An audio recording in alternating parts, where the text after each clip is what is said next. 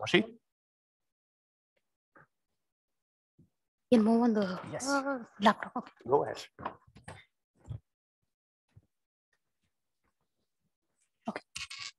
Um, thanks for the introduction. Uh, I'm going to talk about our work on secure multi-party computation with free branching. Uh, this is joint work with Mathias Hall-Andersen, uh, Aditya Hegde, and Abhishek Jain. Um, so MPC, as we've seen through this day, is um, uh, a protocol that enables a group of mutually distrusting parties to jointly compute uh, a function over their private inputs while guaranteeing that an adversary who controls a subset of the parties should not learn anything beyond the output of the function. Um, and while there has been tremendous progress um, in improving the efficiency of MPC uh, protocols, most of the techniques in efficient MPC literature currently uh, rely on a circuit representation of the functions. And the communication complexity in these protocols is typically linear in the size of the circuit. And while there are some protocols that have sublinear communication, those usually rely on heavy computational uh, primitives such as FHE or homomorphic secret sharing schemes, which uh, at least currently are pretty far from being practical. Therefore, uh, in order to efficiently compute a function, uh, what we need is an efficient representation, uh, I'm sorry, an efficient circuit representation of the function. But what if a function doesn't have an efficient circuit representation? Indeed, there are examples of functions that do not have an efficient circuit representation. For example, conditional branches. In conditional branches, uh, evaluating uh, such a function only depends on one of the branches. Um, however, uh, the circuit representation typically needs to encode a description of all of the branches, as a result of which an MPC protocol uh, or naively running an MPC protocol for computing such a function would result in communication that is dependent on the size of all of the branches. Therefore, the question that we ask in this work is whether it's possible to design an efficient MPC protocol for the purpose of securely computing conditional branches, where the total communication only depends on the size of the largest branch. In other words, is it possible to compute conditional branches at the same cost of, for instance, computing a regular circuit of the size of a single branch? But before moving on to any prior work um, in this area, let me try to quickly convince you that computing uh, conditional branches inside MPC efficiently is an interesting problem, which could have potential applications. So it's well known that uh, control flow instructions um, are uh, uh, are inevitable in computing in computer programs, um, and prior works have shown that or many forms of control flow instructions can actually be rendered uh, into conditional branches. And these refactorings or renderings usually uh, result in very many um, uh, conditional branches. As a result, designing MPC protocols for uh, conditional branches where the communication cost does not depend on the number of branches would be pretty useful. Um, a more concrete real life application where such a protocol could be used for is for example where a collection of servers uh, provide a set of k services together which the clients can pay for and avail without having to reveal to the servers which service they actually accessed Okay, so recently uh, some works have uh, addressed the exact same question that we are considering in this work and have managed to make significant progress.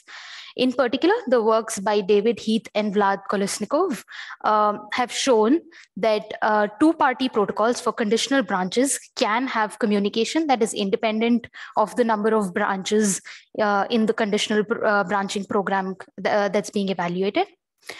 However, in the n party setting, uh, no such protocol is known. These recent works have managed to reduce the dependence on the number of public key operations, but the total communication in these protocols still depends linearly on the number of branches. Uh, these works overall leave some several interesting open questions. Uh, the first one being, can we design an n-party protocol for conditional branches where the total communication is independent of all of the branches? Second, uh, all of these prior works only consider security against a semi-honest adversary. And the question that we ask is whether it's possible to also consider uh, protocols with similar efficiency in the malicious setting. And finally, these protocols only focus on the Boolean circuit case. Uh, what about protocols for arithmetic circuits? Uh, in this work, uh, we positively resolve almost all of these questions.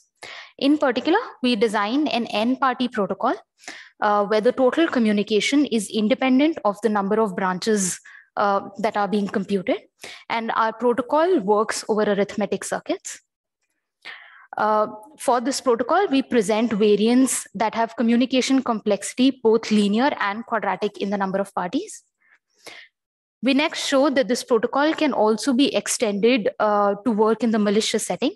However, one drawback, draw, drawback of that extension is that it has an additional multiplicative dependence on the statistical security parameter. And finally, we show that this protocol can also be extended to uh, obtain a similar result in the constant uh, round setting, albeit only for uh, Boolean circuits.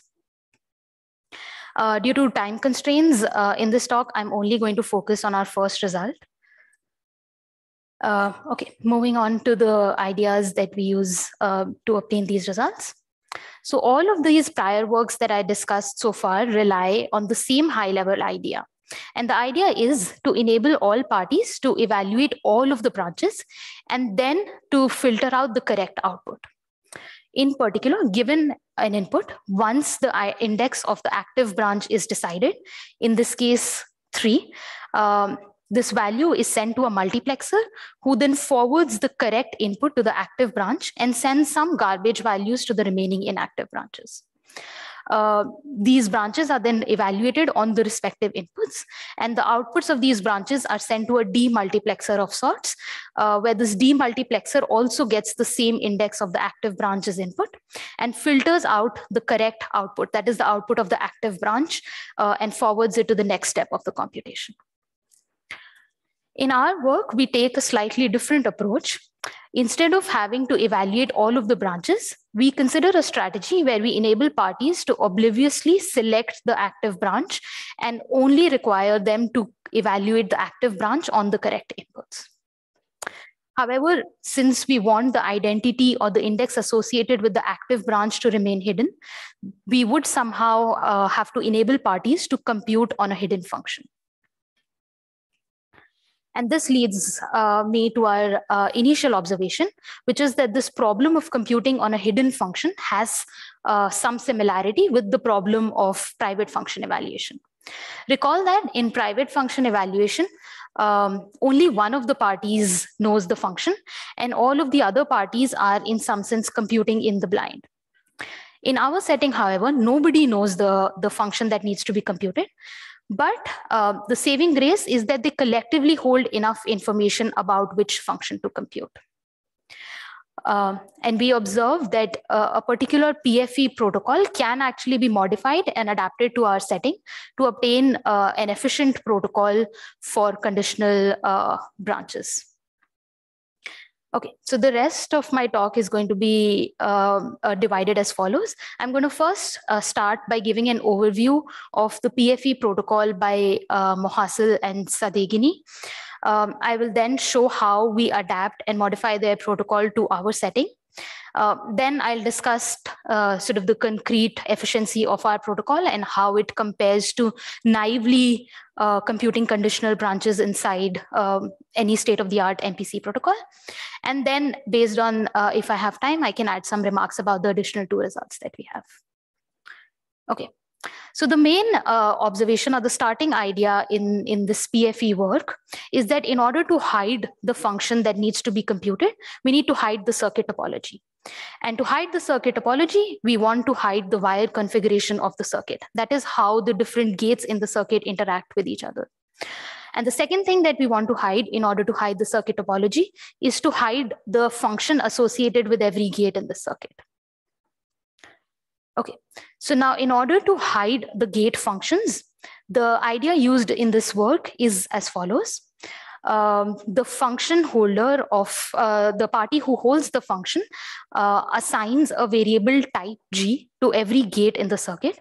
And this variable is set to a value zero if the gate is a multiplication gate, and it's set to one if the gate is an addition gate.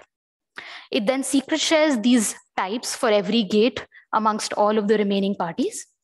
And now, assuming that uh, the parties somehow get shares of the uh, input wire values of this for this particular gate, they can compute both an addition and a multiplication on these left and right input wire values, and based on the, the type of the gate, choose the appropriate operation.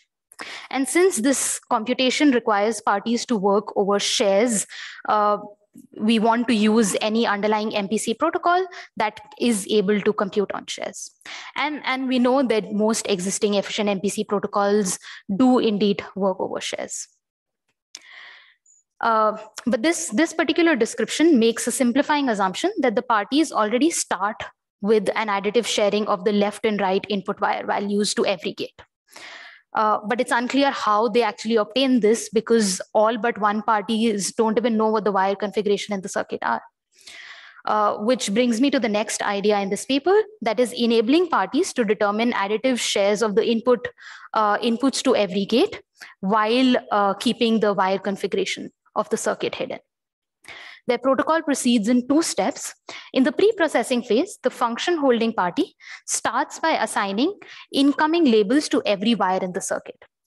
This incoming label is in some sense associated with the gate uh, to which this wire goes as input to. They also assign an outgoing label to every wire, uh, which is associated with the gate that this wire comes as output from.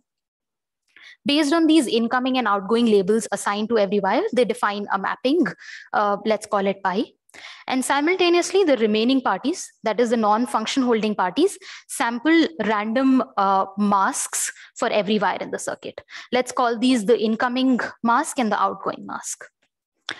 Uh, after this, the, the, the parties interact with each other, at the end of which the function holding party is able to learn uh, the delta value, which is the difference between the incoming wire mask and the outgoing wire mask associated with every wire in the circuit.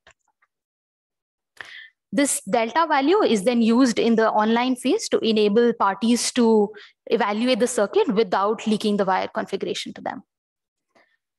So let's let's say we have a gate G which has incoming wire values uh, with incoming labels A and B, and an outgoing wire that has an outgoing label C.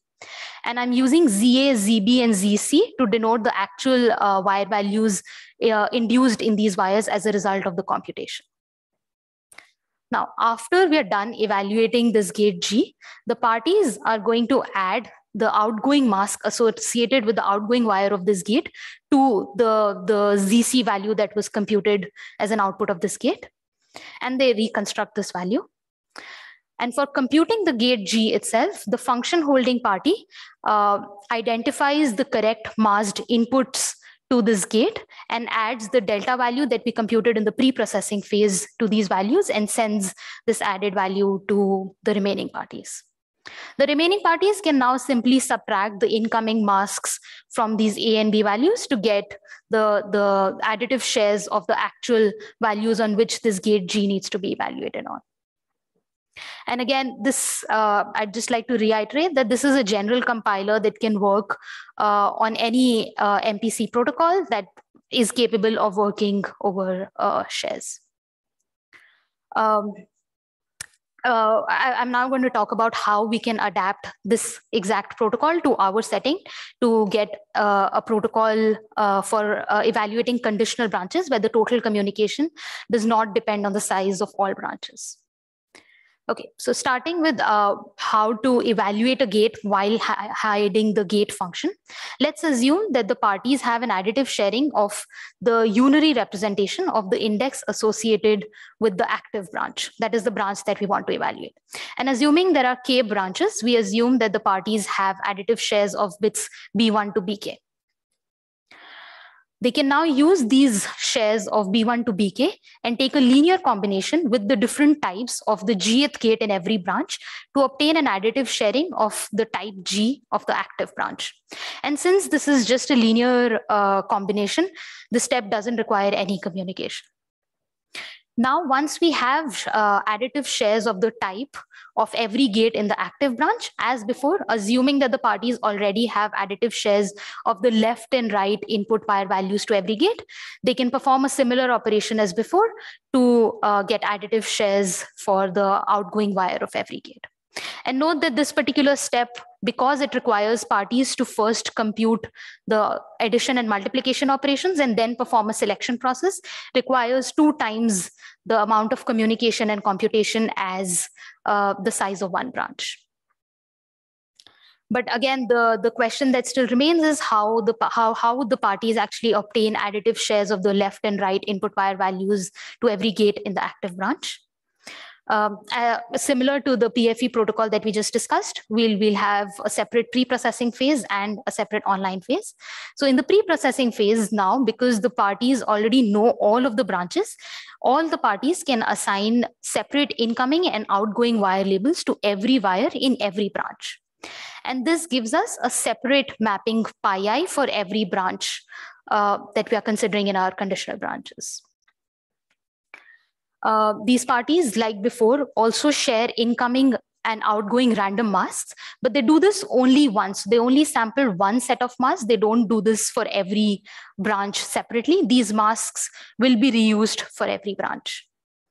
And again, since we only uh, sample one set of masks, the communication required uh, or incurred uh, in sampling these masks is again independent of the uh, number of branches in the circuit. Now, given these incoming masks and the outgoing masks, what we want is to compute a sharing of appropriately permuted outgoing masks associated with every wire in the active branch. And this can be done by taking a linear combination with the shares, the bit shares of B1 to BK, which is the unary representation of the index associated with the active branch. But since this step requires us to actually multiply shares uh, this will uh, naively doing this will incur communication and computation that depends on the size of all branches uh, in our program, which we'd like to avoid. Uh, but let's let's let's assume that we're able to do this efficiently. Now, if we have this sharing, it's easy to compute the delta value as before. We simply subtract this permuted outgoing mask from the incoming mask to get the delta value associated with every wire in the active branch. So the question that remains in the pre-processing phase is how do we efficiently compute this inner product step? Uh, for this, uh, we, we, we will rely on threshold linearly homomorphic encryption. Uh, and the protocol proceeds as follows.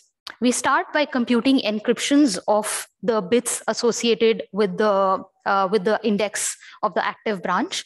Every party uses its share, every party encrypts its share of every uh, bit individually and sends it or broadcasts it to every other party.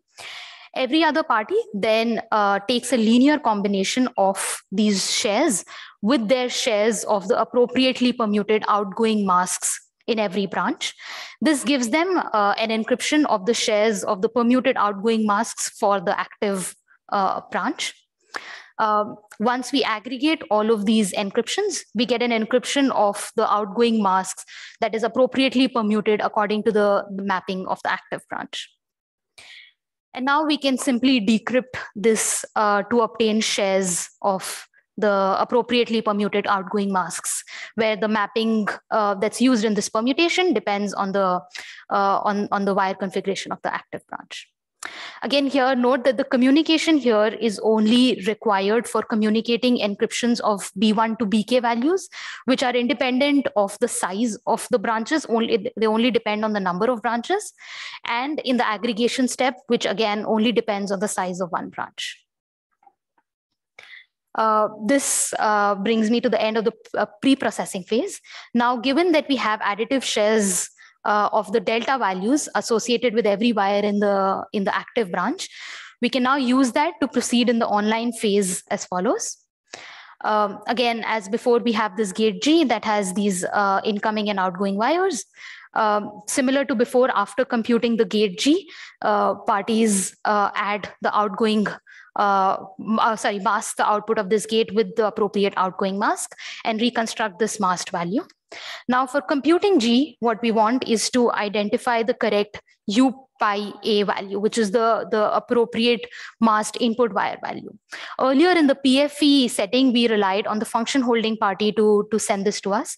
But here, since none of the parties know this, uh, what we're going to do is we are again going to rely on the additive shares of the index uh, associated with the active branch that we have and take a linear combination um, of these uh, additive shares with the UPI values associated with every uh, branch to actually get the, the, the right masked value for the active branch. And this, this can be repeated as is to compute uh, shares of the UPI B value. And, and as before, given the shares of these A and B values, we can subtract the appropriate incoming mass to get shares of the actual uh, additive shares of the actual input wire values to this gate G on which we'd like to evaluate the gate. And as before, similar to the PFE protocol, this approach can work with any MPC protocol that is capable of operating over shares.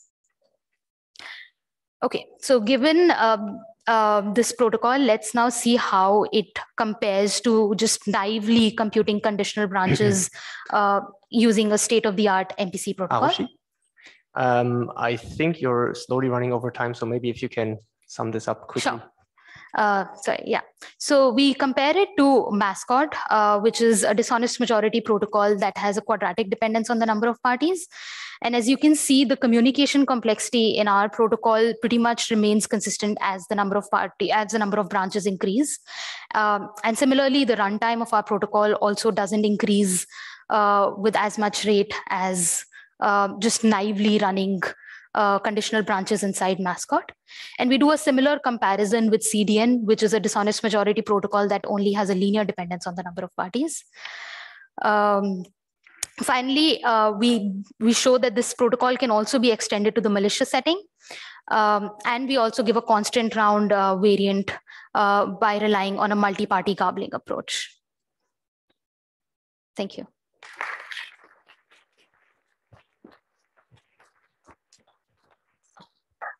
I think we have time for one quick question. So first of all, thanks for the nice talk. David? Thank you for the thank you for the nice talk. Uh, I was just curious if you had the opportunity to do a concrete comparison with the prior work on MPC free branching. Uh, uh, like stacked garbling and stuff? Uh, the the multi-party variants, that the reduce the number of public key operations. Right. Uh, so the communication complexity in our case will be will be better because mm-hmm. our communication complexity is really better. And I believe we did. Uh, I don't think we we put the graphs in the paper for the actual runtime, but even our runtime was actually uh, not that bad in okay. comparison to to the motif paper. Is right. I think uh, what we compared to. Okay. Thank you. Okay, uh, thanks very much, Aarushi.